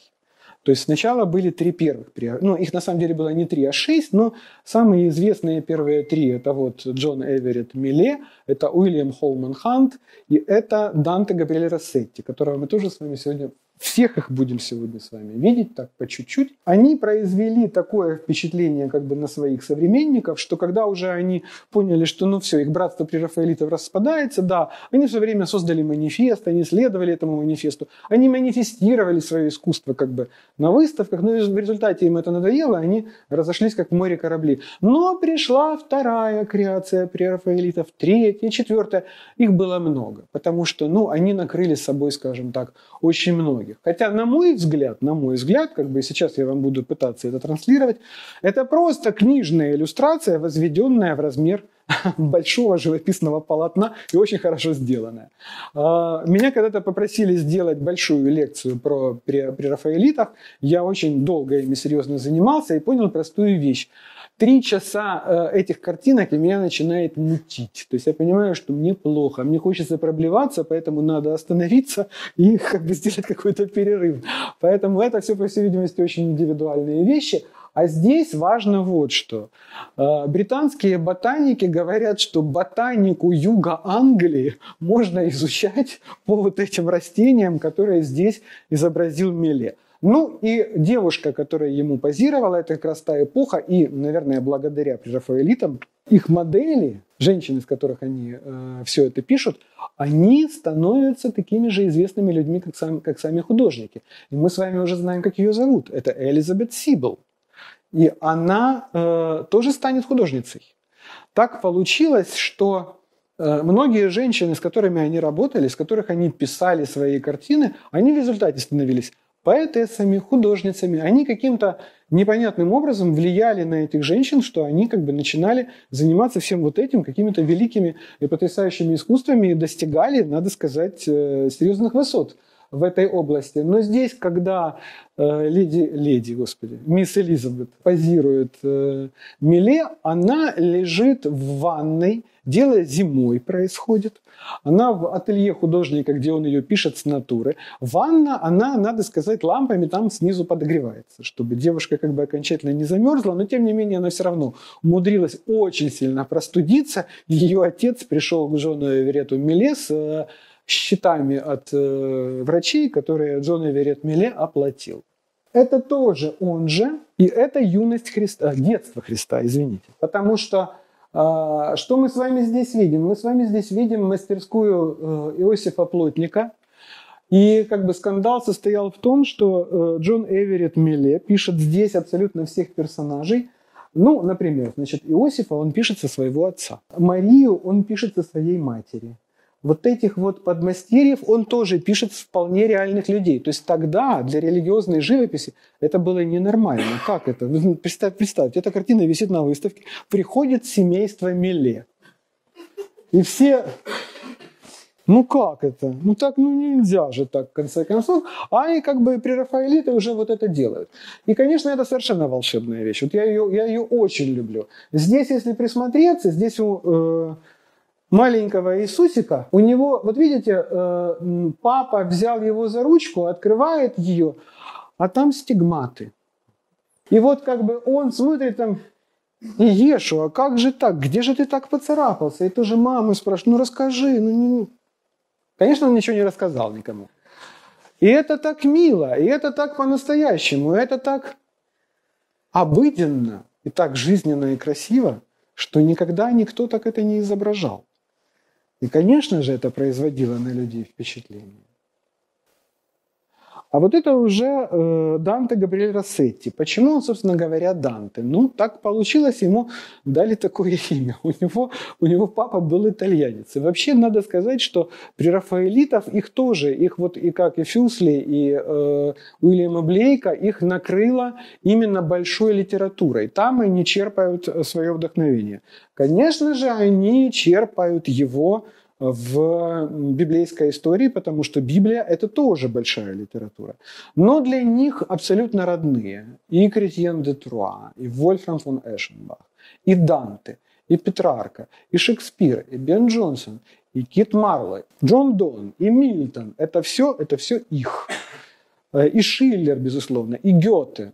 Все это им интересно, они с этим очень много работают – а эта вещь называется, э, естественно, благовещение, потому что здесь что? Здесь архангел Гавриил приходит к Деве Марии и говорит, как бы, возрадуйся, Дева, э, потому что как бы отныне ты будешь э, матерью, матерью Господа нашего. А посмотрите, как на это реагирует Мария. Это э, первое благовещение, в которое, как обычно благовещение происходит, в, допустим, у итальянцев, у того же, э, у того же Боттичелли, как правило, архангел Гавриил, он врывается в это помещение, где сидит Мадонна, и она такая слегка перепугана. Я к вам, сударыня, с докладом. То есть там все это происходит очень быстро. У э, голландцев, у того же Мемлинга, у того же Яна ван Эйка, там это все очень медленно, там это все на уровне какого-то минуэта, медитации. И она со склоненной головой, как бы, да, хорошо, я все поняла, договорились, да, буду рожать. А здесь она в шоке, она в ужасе. Она в ужасе от того, что ждет его, ее ребенка, что, ну, в принципе, понятно, да, потому что он открывает ей правду, и только так, наверное, должна реагировать настоящая мать. И, ну, я вам честно скажу, я не очень люблю Рассетти, и это, наверное, единственная вещь, которую я у него действительно люблю, потому что, ну, она просто хороша. Это он же, это песнь, песнь песней Соломоновых. Это тоже иллюстрация на библейскую тему – и здесь интересно вот что. Вот эта, вот эта голова – это его любовница, а, жена его э, друга, тоже художника. Художник был скорее даже дизайнером. А, он занимался тканями, он занимался книжной иллюстрацией. А вот э, она очень была близка Рассетти. И вот, это э, тот случай, когда художники не стесняются как бы рассказать о своей любви зрителю – и на картине про, э, на библейский сюжет присутствует женщина, которую многие знали. Все знали, все, все, все говорили, это, это что, Джейн Моррис? Да, это Джейн Моррис, жена Джорджа Моррис, того самого. Так это же любовница Рассетти. Да, это любовница Рассетти. Прерафаэлиты первые, кто начинает понимать такую вещь, что публика такая интересная субстанция, что если ты им дашь настоящий большой скандал – то ты после этого уже и звезда, тебя и покупать хорошо будут.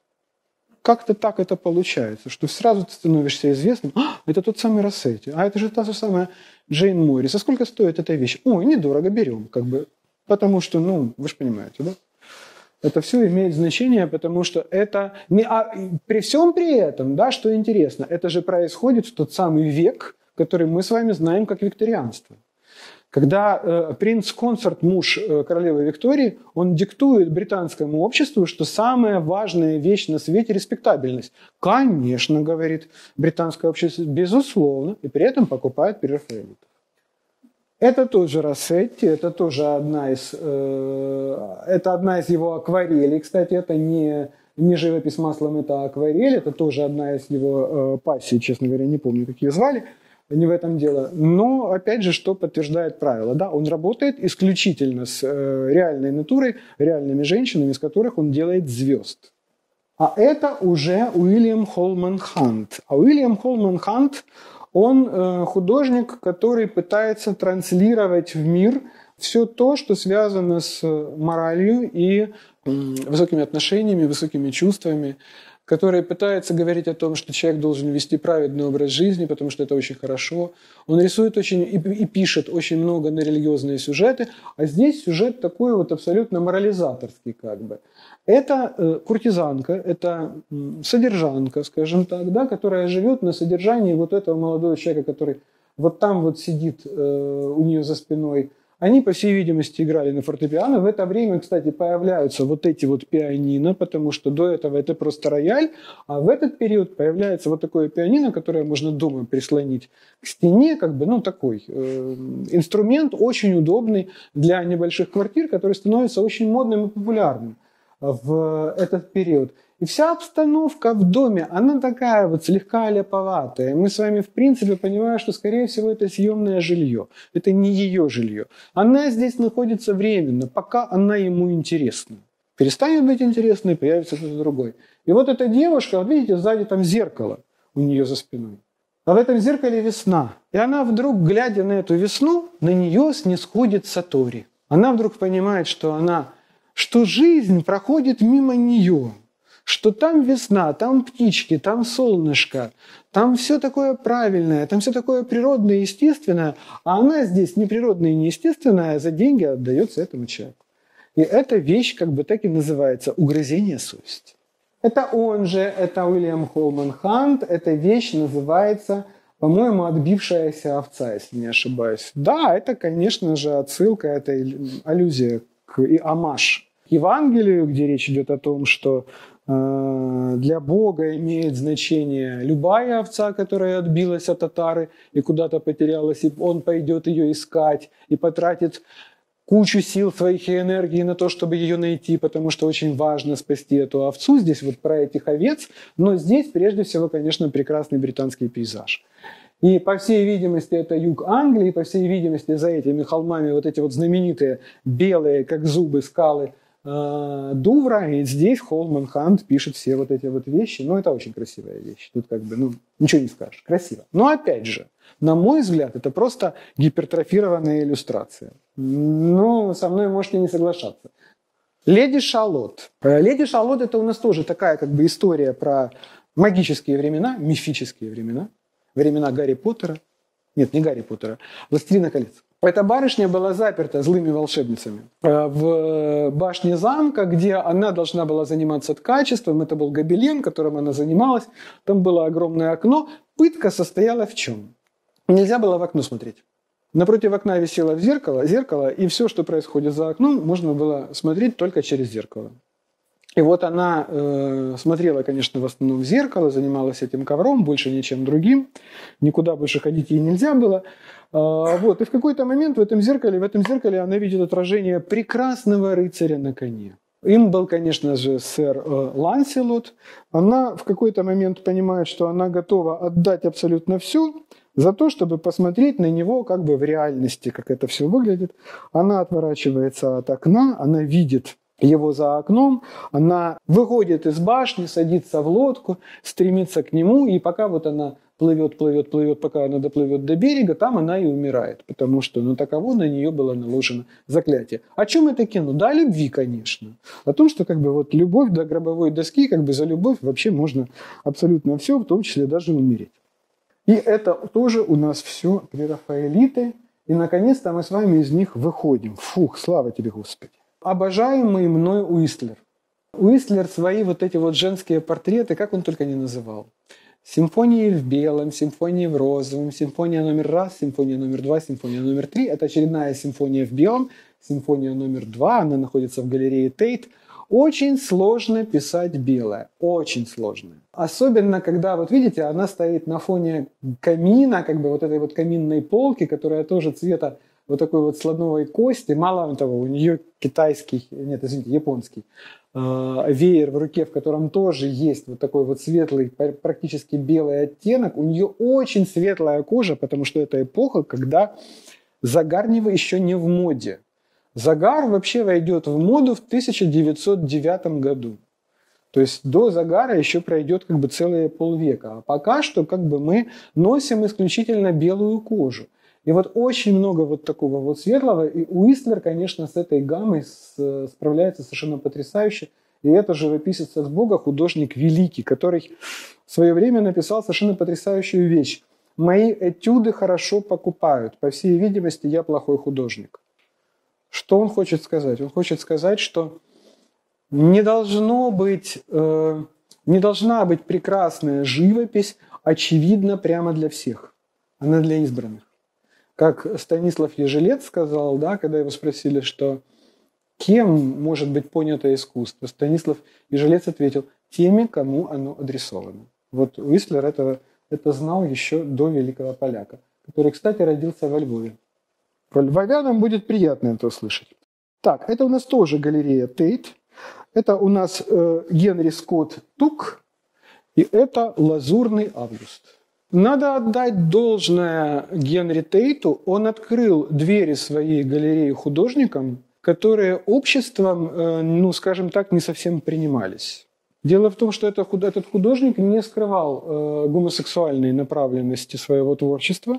У него абсолютно вся живопись построена на вот этих вот юношах, на этих эфебах, которые чаще всего обнаженные, но которые занимаются самыми безгрешными делами. То есть они купаются в э, море, там они залазят на лодку, вылазят из лодки, прыгают с лодки, там они плещутся на берегу моря, они, загора, они загорают на пляже. Что бы он с ними не делал, он это делает с живописной точки зрения совершенно потрясающе. Это потрясающая, удивительная, э, реалистическая живопись. И э, его работ в галерее Тейт тоже достаточно. А это американец.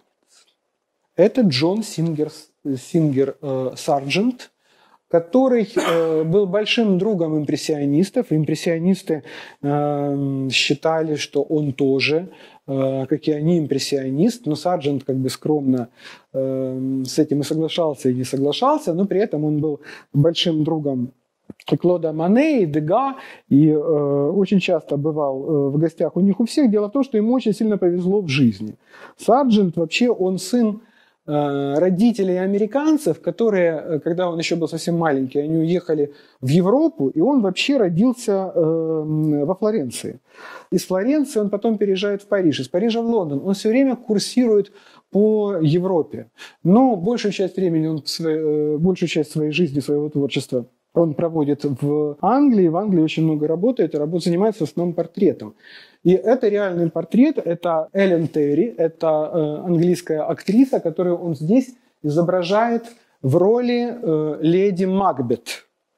Э, мы уже понимаем, да, что король Дункан уже погиб, и леди Макбет становится королевой, потому что она здесь сама себя коронует. Здесь интересно то, что он нам с вами изображает реальное платье, в котором она выступала в этой роли, которая все было расшито крылышками. Я не помню, как называется это насекомое, но у этого насекомого очень жесткий, э, жесткий панцирь, и он такой очень ну, во-первых, зеленый, переливающийся, ну, это совершенно необыкновенный, какой-то глаз, глазурованный весь. То есть это очень красиво, и это все платье было расшито вот этими вот панцирями, как бы в бесчетном количестве э, расшито это ее платье. Это э, его же работа, это дети его заказчиков, которые здесь занимаются японскими фонарями.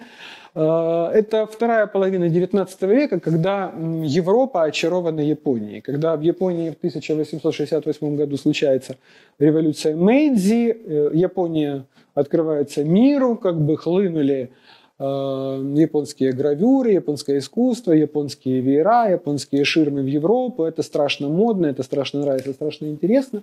И все эти японские, китайские фонари, это тоже, ну, это тоже как бы на пике популярности. И вот Саржент в какой-то момент как бы увидел, как это красиво вечером. Вечером, когда э, дети зажигают фонари, когда уже сумерки, потому что, видите, как интересно, он прям синюю траву пишет.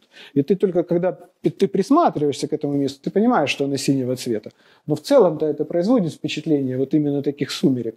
Сарджент, в отличие от Гейнсбора, работает медленно. Поэтому вещь он это начинает делать в июне, когда вот дети, видите, они в таких вот легких ночных рубашках, в которых вот они сейчас зажгут эти фонари и пойдут спать. А заканчивает он ее в ноябре и настаивает на том, чтобы дети ему позировали.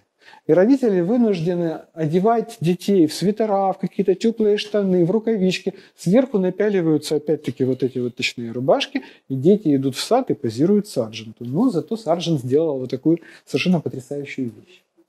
Ну и мы с вами выходим из галереи Тейт. И сейчас, если мы с вами по Темзе как бы плыли на юг, то сейчас мы с вами плывем на север и чуть-чуть на восток и на э, южный берег Темзы, потому что вот там вот северный берег Темзы. И если вы сейчас находитесь рядом с собором Святого Павла, вот собор Святого Павла, работы сэра Кристофера Рена, здесь раньше стоял другой собор, а в 2000 году был построен мост Миллениум, который вот прям оттуда, от собора Святого Павла идет через Темзу, то вот ровно на другой берег, и вы оказываетесь перед зданием высшей электростанции. Вот она, как выглядит сейчас. А, вот это здание было постро... пристроено уже в 2000-х годах, а в 2000 году вот здесь, в здании этой бывшей электростанции, была открыта галерея Tate Modern, галерея современного искусства. И здесь выставлено искусство, которое условно считается современным, потому что с 1900 года, то есть Пикассо, Брак, Матисс, э, Шагал, здесь все это есть. Но э, прежде всего эта галерея, конечно же, интересна нашими современниками, которые здесь делают свои инсталляции, здесь делают свои выставки. Я не сказал самое интересное, слушайте. Вход на постоянную экспозицию всех трех галерей, которые мы с вами сегодня смотрим. Это Национальная галерея, это Tate Britain, из которой мы с вами только что вышли. Вот галерея Tate Modern бесплатный. Э, отдельные конкретные выставки, которые проводятся э, персонально в этих галереях, там, конечно же, надо платить. Но вообще, как бы в эти музеи вход, за вход ничего не берут. И с вами давайте зайдем сюда, в эту галерею, потому что она, в принципе, по большому счету, самое главное здесь э, здание, это вот этот вот зал огромный, который назывался раньше, если я не ошибаюсь, тур, да, не ошибаюсь, он назывался турбинным э, залом. Э, все главные как бы, события, все проходят, в общем-то, здесь, э, вот как раз на, на вот этой галерее, на э, вот этом вот балконе. Эта вещь называется набережная. Эта инсталляция э, была сделана вот в турбинном э, зале. Если не ошибаюсь, это 2002 или 2003 год, то есть одна, одна из самых ранних. Здесь это все собрано из вот таких вот, ну, условно говоря, как бы коробочек. Да, это не коробочки, конечно, это сделано из каких-то полимеров, но э, вы понимаете, до какой степени это волшебное зрелище, когда люди попадают в это пространство, а вокруг вот это вот. Как можно трактовать название набережная в данном случае? Не знаю.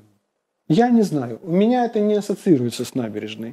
То есть, наверное, если я бы туда попал, то мне бы казалось бы, что я нахожусь внутри там какого-то гигантского, гигантского макета, какого-то мегалитического города. Э, ну, возможно, у этого города есть набережная. Но, конечно же, это очень красиво. Здесь же проводилась вот э, выставка, когда художник э, на полу этого зала он э, создал вот такую вот трещину. То есть да, это тоже произведение искусства, безусловно. И то, как человек относится к этой трещине. А, люди приходили, смотрели, она, эта трещина, где-то в каких-то местах она была совсем не глубокая, там какие-то сантиметры. В каких-то местах она была глубокая до такой степени, что там в темноте вообще терялось э, понимание, насколько глубоко вообще там копали. Собственно говоря, насколько глубоко треснуло. А, везде стояли таблички по поводу детей, что, пожалуйста, будьте осторожны. И все равно, несмотря на это, не детей, так животных. Там кто-нибудь пришел там с э, малюпусенькой там чихуахуа, да, она провалилась там в эту трещину, ее оттуда доставали. Короче говоря, э, конечно, галерея натерпелась с этой э, работой страшно. Но при этом, как бы, она, конечно же, вызвала ажиотаж, эта вещь.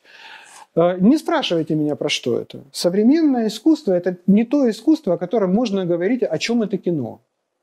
То есть здесь как бы, ну, я попытаюсь там какие-то вещи вам рассказывать, если позволите, но в данном случае вот промолчу, потому что трещина. Мне кажется, здесь очевидно все. Вы же наверняка все уже догадались, о чем это. А, это мой любимый Алафур Элиасон. Это прекрасный э, художник датско-норвежского э, происхождения. И это его проект, который называется «Погода». Что сделал Элиасон? Вы же помните этот зал, да? Мы с вами, я специально вам его показал в самом начале, когда мы вошли в галерею Тейт. Вот это вот наверху, вот это, здесь висит гигантское зеркало – в котором все это отражается. Э, Элиасон повесил только половинку вот этого солнца на самом-то деле. Другая половинка, она, естественно, отразилась э, в зеркале по законам физики. В этом зале была создана совершенно особенная влажность, которая давала именно вот такой вот свет и такие ощущения.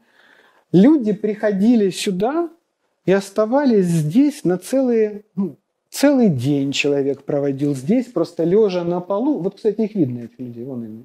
Все отражаются в зеркале. Многие из них просто лежат на полу и втыкают в этот потолок. Потому что это потрясающе красиво. Это просто невероятно. Ну, вот такой вот художественный проект. Это 2009 год – Эм, остались, конечно же, только фотографии, такие проекты их разбирают, то есть они не остаются навсегда. Это как мандала в э, Тибете, да, когда она создается из песочка, потом Далай-Лама провел обряд, потом взяли метелочки, все, нету. Сделаем на следующий год. То есть это можно воспроизвести, конечно же, но сейчас э, эта экспозиция уже не существует. А это мой любимый китайский художник, это Ай Вейвей. Это 2011 год, и эта вещь называется очень изысканно «Семена подсолнечника». Ай Вейвей родился в Китае. Он родился в Китае в эпоху Мао Цзэдуна. Мао Цзэдун любил говорить, что он и коммунистическая партия Китая – это солнце. А китайцы – это семечки, которые вызревают в подсолнухах. И все эти подсолнухи обращены э, к солнцу, а солнце, повторяют, а у нас Мао и партия. Вот в этом всем провел свое детство Ай Вейвей. И э, в его детстве семечки подсолнечника – это было э, главное лакомство, другого не было. То есть ни тебе конфет, ни тебе пирожных, ни тебе мороженого, семечки. Надо отдать должное китайцам. Они их и в соли, и в сахаре, как бы что они только с ними не делают. Но это были только семечки. Э, здесь этих семечек 100 миллионов. Э, вот тут вот, где вы видите, как бы это вот полностью э, пол турбинного зала заполнен этими семечками, вот где-то 10 сантиметров толщиной э, вот этот ковер. Вот как это выглядит вблизи. А теперь хорошо, что вы сидите. Ай Вейвей говорит нам этой работой, что несмотря на то, что все люди так похожи, Каждый из нас индивидуальность. Боже, я сейчас делаю страшную вещь. Нельзя объяснять современное искусство. Каждый из нас индивидуальность. И каким же образом нам это говорит Ай Вейвей, хотя все семечки похожи? Хорошо, что вы сидите. Каждая семечка сделана вручную из фарфора и вручную расписана. Две недели работала одна китайская семья. Шучу. 100 миллионов семян, созданных из фарфора вручную – и вручную расписанных. Ну, а я вам хочу еще посоветовать еще одного хорошего китайского художника Цай Гатяна, который э, из пороха э, делает живопись в небе. В Нью-Йорке он стрелял с баржи как бы в небо, в результате получились, получались охапки э, гвоздик. Ну вот Ай Вэйвэй и Цай Гутян – это два моих любимых китайских художника. И вот этой вот удивительной, совершенно фантастической э, работой я хочу сегодня закончить с Лондоном. И согласитесь, что туда стоит ехать.